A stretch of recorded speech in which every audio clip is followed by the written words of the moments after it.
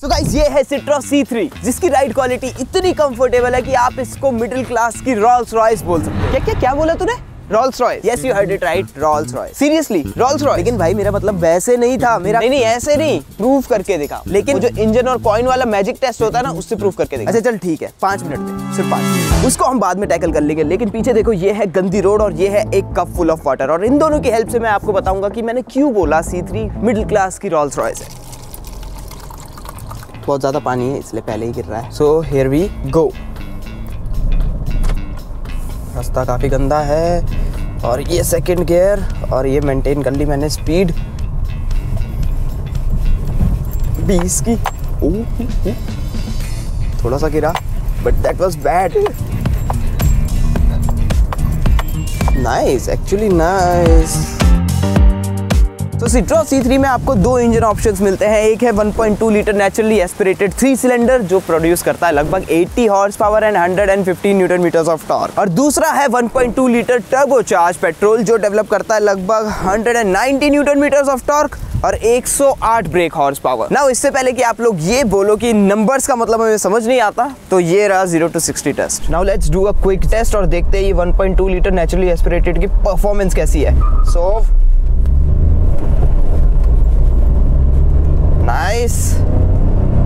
Second gear 60 third gear 80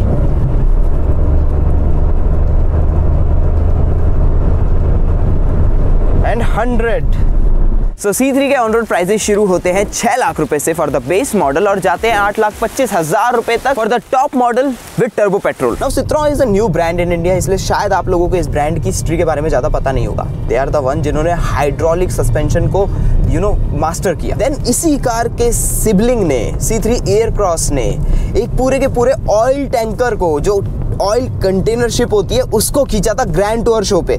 नहीं देखा तो जाके देख सकते हो यूट्यूब पे। और आई एम प्रटी श्योर कि ये गाड़ी भी उतनी केपेबल है but the only thing is कि इसमें इंजन उतना केपेबल नहीं डाला हुआ है। By the way C three Aircross भी इंडिया में स्पाई हो चुकी है। बहुत ही जल्द आ सकती है, आसार है। And it is going to be a very good car इतना तो मैं कह सकता हूँ। बस द ओनली थिंग इज़ कि अगर वो थोड़ा सा यू नो प्राइसेस को मैनेज कर पाए तो।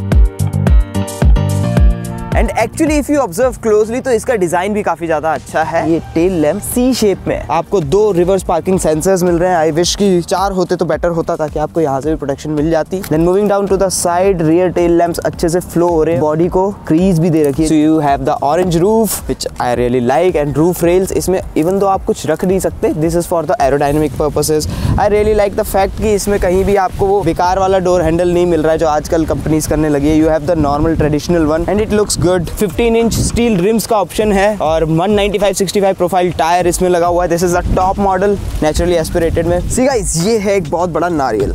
लुक इस गाड़ी की ग्राउंड क्लियरेंस है 180 mm की जिसका मतलब ये कि आप अगर चाहोगे तो भी इस गाड़ी को कहीं नीचे टच नहीं कर पाओगे। आपके पास छोटा सा इंडिकेटर है orange accent on the door mirror तो वही सेम फ्लो यहाँ पे भी बनाया हुआ है। The best part about these D R कि ये फ्लो होके चले जाते हैं सिट्रॉ लोगो में which looks really very mesmerizing मतलब सेटिस्फाइंग और इंडिकेटर्स को इसके अंदर इंटीग्रेट किया हुआ है। Mind you they are not sequential and your fog lamp then there is no LED lighting of any sort जो आई थिंक इस डे एंड एज में तो एक स्टैंडर्ड बन चुका है। तो वो अगर दे देते तो that could have been a better choice and अगर आप इसको देखोगे तो यहाँ पे भी मल्टीपल इन्होंने शेड्स आपको दिए हुए हैं. So you have the black then you have your silver treatment तो it looks very good and given the fact कि ये एक माइक्रो एसयूवी या एसयूवी नहीं है सिट्रो क्लेम्स की ये एक हैचबैक है. एंड अगर आप ऊपर देखोगे ऑब्ज़र्व करोगे तो छत पे भी सी बना हुआ है. एंड ये आपका नॉर्मल एंटीना है, आपको शार्कफिन एंटीना नहीं मिलता इस गाड़ी में.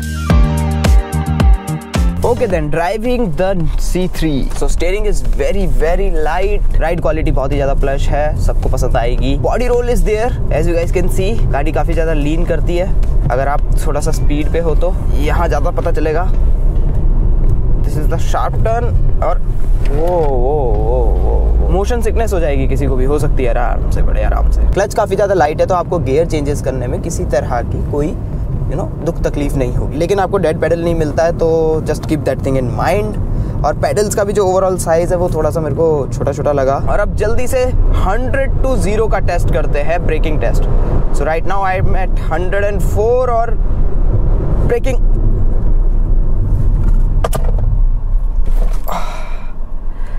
it's nice but could have been better मैंने बोला ना ब्रेक से थोड़ा सा स्क्विशी फील आ रहा है। पाँच मिनट सिर्फ़ पाँच मिनट। प्रूफ चाहिए था।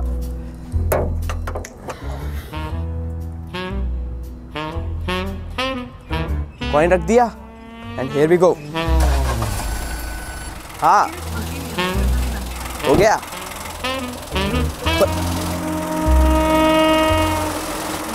एंड प्रूव अब आगे बढ़ने से पहले जल्दी से जाके सब्सक्राइब कर लो चैनल को। अगर अभी तक नहीं किया है तो क्योंकि हमारा नारा है वन मिलियन हमारा है, इस साल में करना है बहुत तो हेल्प करो सपोर्ट करो। और हाँ लाइक भी छोड़ देना वीडियो पे, क्योंकि एल्गोरिदम को हराना है ओके नाउ क्योंकि अंडरनीथ द बॉनेट एक थ्री सिलेंडर इंजन है, इसलिए रिफाइनमेंट की थोड़ी सी कमी तो है, और वो आपको फील होगी कभी। हल्की बहुत यहाँ पे, और स्टेयरिंग पे भी कभी कभार आता है, ऐसा feel but not that much it's better compare to the Tata Punch जो कि इसकी डायरेक्ट कॉम्पिटेटर है। और एक्सेलरेशन वाइज भी it feels a little bit better than the Punch and NVH भी इसका एक्चुअली बेटर ही लग रहा है। और स्टेरियो सिस्टम तो जैसा मैं ऑलरेडी एक्सप्लेन कर चुका हूँ is really very nice as पर सिट्रो C3 की क्लेम माइलेज है 19.5 किलोमीटर पर लीटर अब अगर आप ये चाहते हो कि मैं इसका एक माइलेज टेस्ट करूँ तो let me know in the comment section जाके येस लिखो ओके सो एक चीज़ और मुझे बहुत अच्छी लगी, इसमें वन टच डाउन विंडोज़ है सी पर अप नहीं है।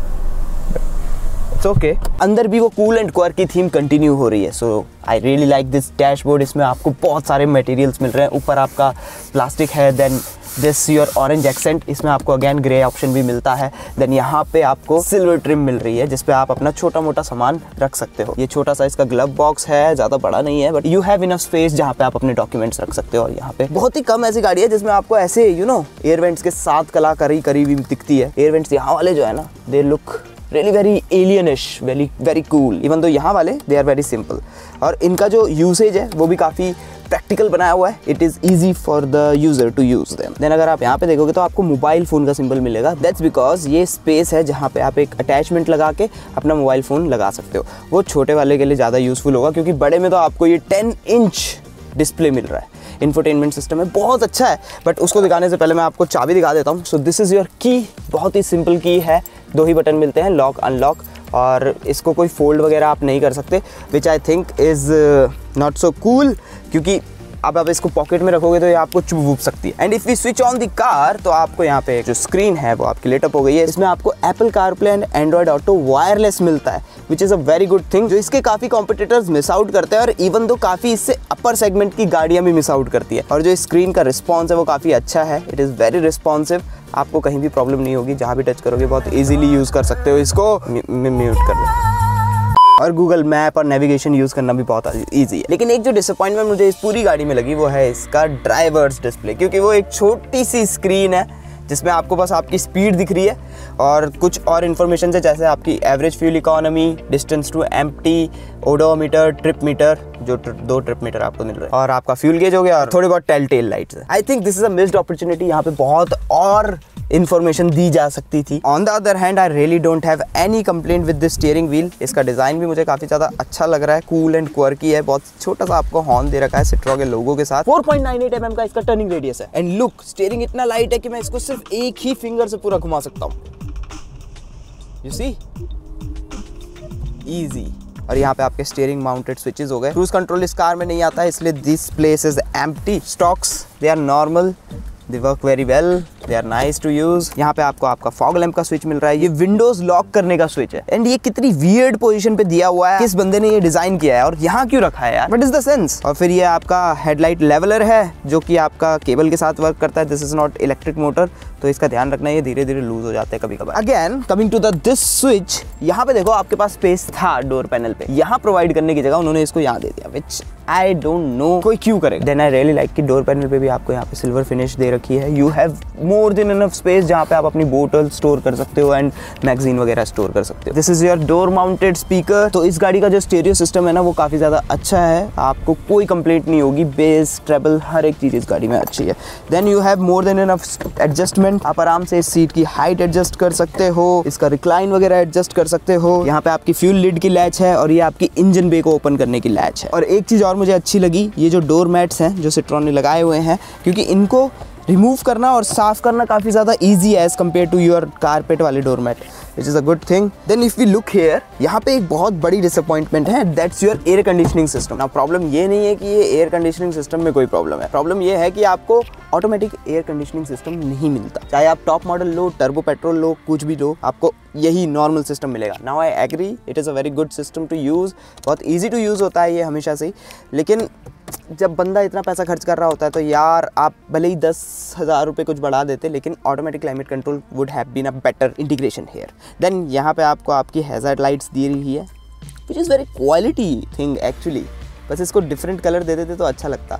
देन ये आपका 12 वोल्ट सॉकेट हो गया यूएसबी पोर्ट है आपका, अगर आपको वायर्ड कनेक्शन देना है तो।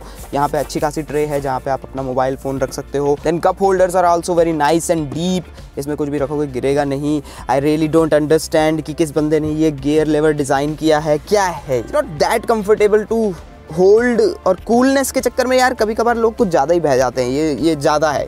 That's the example of that thing and now this is the correct time to tell you guys कि सिट्रो ब्रांड कूलनेस के साथ साथ क्वर्कीनेस के साथ साथ कंफर्ट के साथ साथ वियर्डनेस के लिए भी जाना जाता है। फॉर एग्ज़ाम्पल ये आपकी रियर विंडोज़ की कंट्रोल है। रियर डोर्स में आपके पास इनफ स्पेस है, लेकिन फिर भी ये कंट्रोल्स यहाँ दिए हुए हैं। आई डोंट अंडरस्टैंड वाई यहाँ पे अगेन आपको एक छोटा सा कप होल्डर मिल रहा है जहाँ पे बोतल रख सकते हो और रियर पैसेंजर्स के लिए भी आपको यूएसबी पोर्ट दिए हुए हैं। The seats are really very comfortable under thigh support आपको बहुत अच्छा मिल रहा है और बोस्ट्रिंग्स इस सीट में अच्छी है।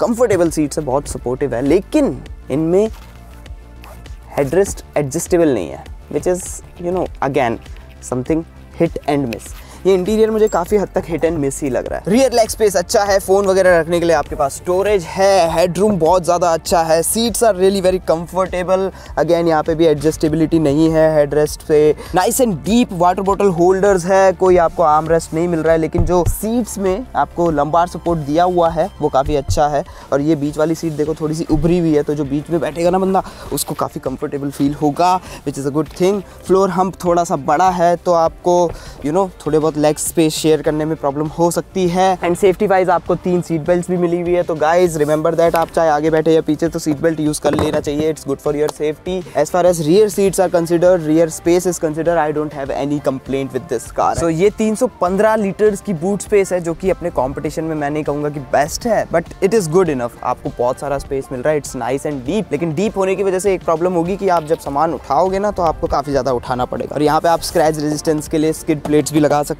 हो। Then you have your three kilogram का हुक यहाँ पे but it feels a little bit flimsy यहाँ पे भी है, वो भी थोड़ा सा फ्लिम्जी फील होता है। You have the partial shelf which is sturdy यहाँ पे काफ़ी सामान आप रख सकते हो। दैट्स इट लास्टली अब क्वेश्चन आएगा कि इसको पार्किंग का क्या हिसाब है? तो यार देखो, इसमें आपको किसी तरह का कैमरा असिस्टेंस नहीं मिल रही है। बस आपको दो पीछे सेंसर्स दिए हुए हैं नथिंग स्पेशल बट जैसा कि मैं आपको ऑलरेडी बता चुका हूँ, इस गाड़ी की विजिबिलिटी काफ़ी ज़्यादा अच्छी है। तो आपको पार्किंग करने में इतनी प्रॉब्लम नहीं होगी अगर आप मेरी तरह प्रोफेशनल हो तो। लेकिन अगर आप प्रोफेशनल नहीं हो तो भाई राम भरोसे करना। Actually it is very easy to park this car no problem and we park so that's it guys इस वीडियो में सिर्फ़ इतना ही। आई होप की वीडियो देख के आपको मज़ा आया होगा। स्किट कैसी लगी? Let me know in the comment section और आपके माइंड में अगर इसके बारे में और कोई क्वेश्चन है जिसका आप आंसर जानना चाहते हो तो वो भी आप कमेंट सेक्शन में पूछ सकते हो। लाइक छोड़ देना। सब्सक्राइब कर लेना चैनल को। I see guys next time तब तक आप हमारे चैनल की और वीडियोस को चेकआउट करो। प्लीज़